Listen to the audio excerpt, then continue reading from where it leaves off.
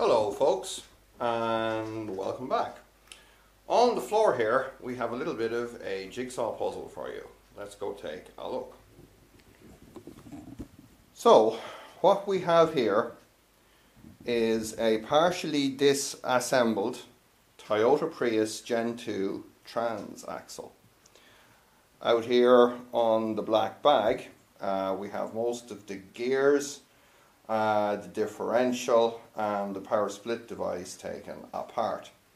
Uh, this part here is the front case uh, which has MG1 uh, basically in behind this cover here.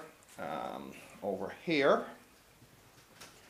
is the rear part of the case which has uh, the MG2 stator which is on the back here. So we have MG2 stator and uh, various other bits and bobs, the park lock system and things like that.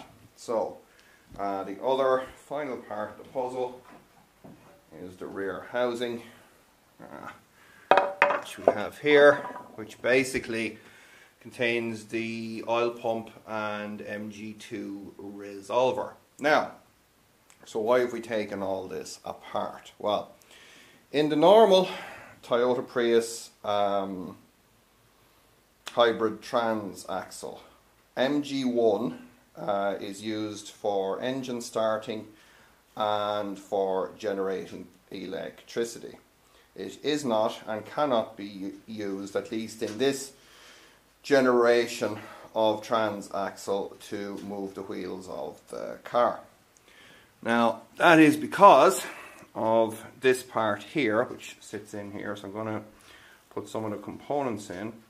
This is the power split device. So this guy here is our MG1.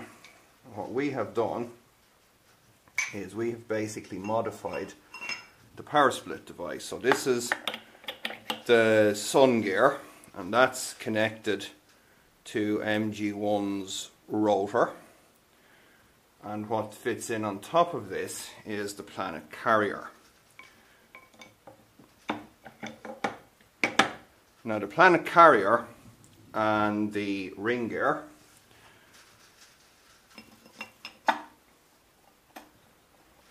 basically if it wants to play ball for me, there we are, normally form the power split device. So what uh, I have done here, just remove the ring gear again, is I have TIG welded the planet gears to the planet carrier. So now, when MG1 turns, the planet carrier turns. And if we put the ring gear back in, okay, so our sun gear planet gears and ring gear now rotate as one piece. And when this gear is placed back on top MG2 rotor normally sits in on top of this. So now MG1 and MG2 are now basically fixed together and we'll drive the differential by means of the chain sprocket here and our chain drive and various gear wheels here. Now,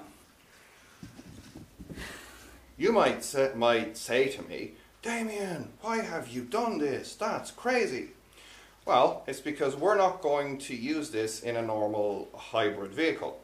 We are going to, to use this to see if we can uh, make an electric vehicle and make an electric vehicle cheaply and that way we want to use MG1 and MG2 in parallel to drive the wheels of the car, hence the modification. Now, during the disassembly process, uh, I came across some spare parts.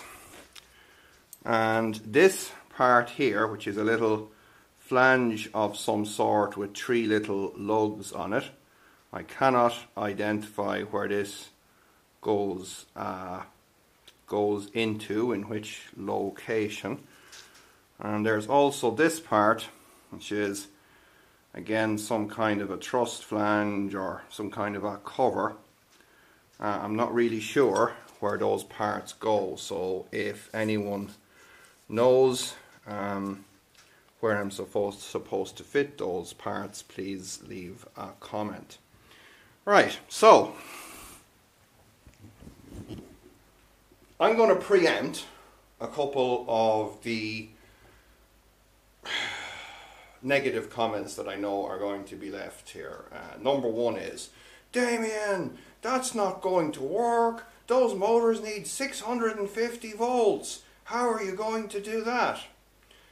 They don't need 650 volts, folks. They need 650 volts if you want to spin them at full speed. They do not need 650 volts if you want to get them spinning. So let's see how that one works out. Second comment. Damien, that's not going to work. Those motors can't run full power all the time.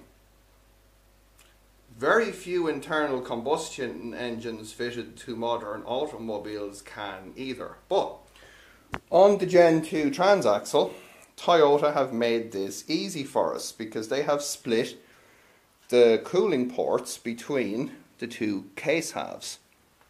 Here we have the cooling hoses for MG1 and over here if I can find them but there are two pipes here trust me on that we have the cooling hoses for MG2 so we can split the cooling loops and get extra cooling going on there. And we have temperature sensors built into the, to this thing and we'll be able to find out, um, you know, how things work out.